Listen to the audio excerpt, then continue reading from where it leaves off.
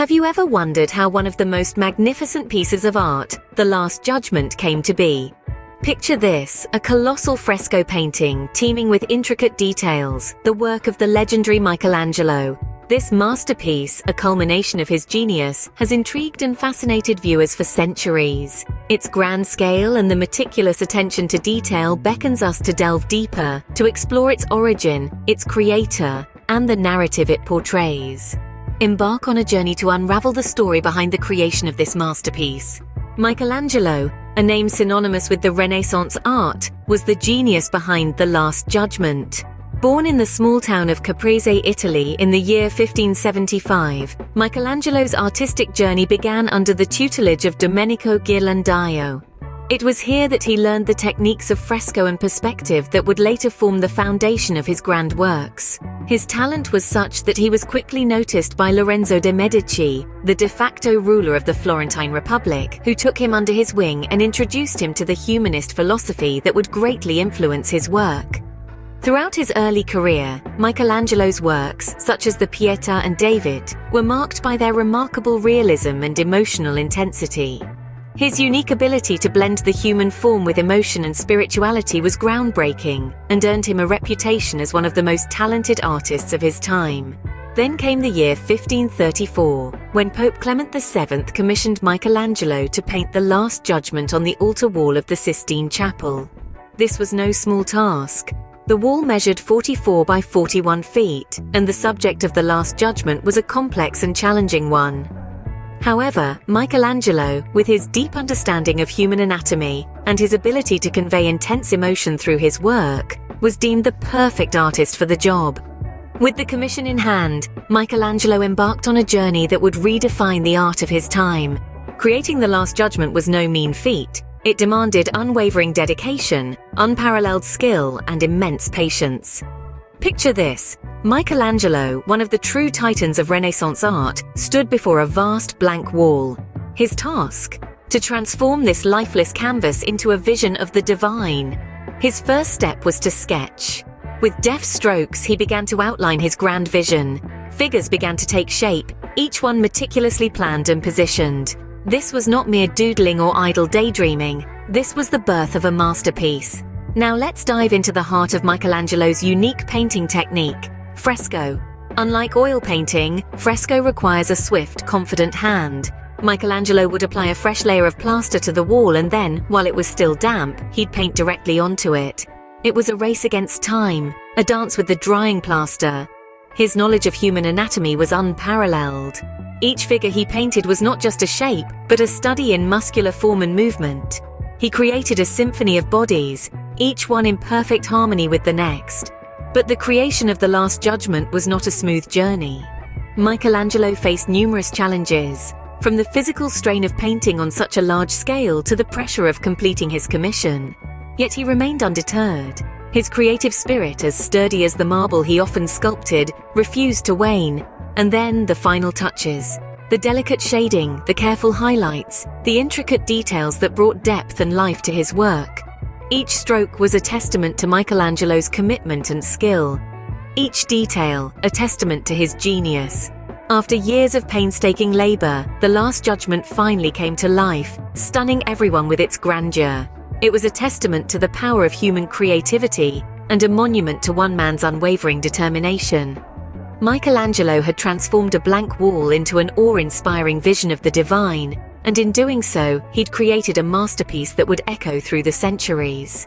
The Last Judgment, though a masterpiece, was not without its share of controversy. This monumental fresco, rich in detail and filled with over 300 figures, was groundbreaking in its bold depiction of nudity. However, not everyone shared Michelangelo's vision.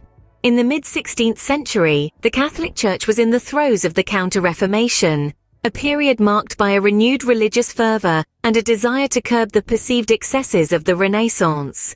The nudity in the Last Judgment was seen by some within the church as scandalous and inappropriate for a sacred space like the Sistine Chapel. Among the loudest critics was Biagio da Cesena, the master of ceremonies to Pope Paul III. He declared the painting more suitable for a public bath or tavern than a chapel. In response to this criticism, Michelangelo added an extra touch to his masterpiece. He painted the face of Biagio onto Minos, judge of the underworld, complete with donkey ears and a snake coiled around him, symbolizing the sin of vanity. However, the controversy did not end there.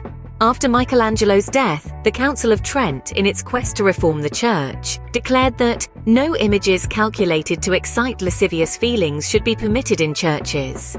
Responding to this, the church commissioned artist Daniele da Volterra to cover the nudity in the Last Judgment with painted drapery, a task that earned him the nickname Il Braghettone, or the breeches maker. Michelangelo, a deeply religious man, was profoundly affected by the criticism Nevertheless, he stood by his artistic vision, firmly believing in the purity and sanctity of the human form.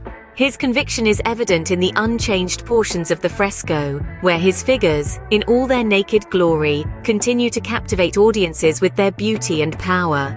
Despite the controversy, The Last Judgment stood the test of time, its beauty and power undiminished. The fresco continues to be a testament to Michelangelo's genius, and his unyielding belief in the power of art to elevate and inspire. The Last Judgment is more than just a painting. It's a testament to Michelangelo's genius and his enduring legacy. These words ring true even today, centuries after the masterpiece was completed. It's not just a painting on the wall of the Sistine Chapel. It's a living, breathing testament to the power of art and the unyielding spirit of an artist who dared to defy convention. The Last Judgment, with its vivid depiction of the final reckoning, has left an indelible mark on the world of art. Scores of artists, both past and present, have looked upon its grandeur for inspiration. It has served as a yardstick, setting a new standard for artistic expression and creativity. The influence of Michelangelo's work can be seen in the compositions of many later artists, who borrowed his techniques and themes to create their own masterpieces. But the legacy of The Last Judgment extends beyond the realm of art. It has become a cultural icon, a symbol of the Renaissance period's spirit of exploration and innovation. Its depiction of the human form in all its glory and frailty has challenged our perceptions of beauty, divinity, and morality. It continues to provoke thought and incite debate, reminding us of the power of art to stir emotions and inspire change.